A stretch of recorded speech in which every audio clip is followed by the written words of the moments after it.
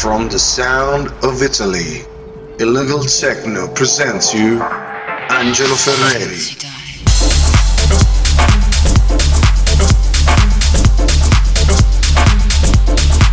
Check it out.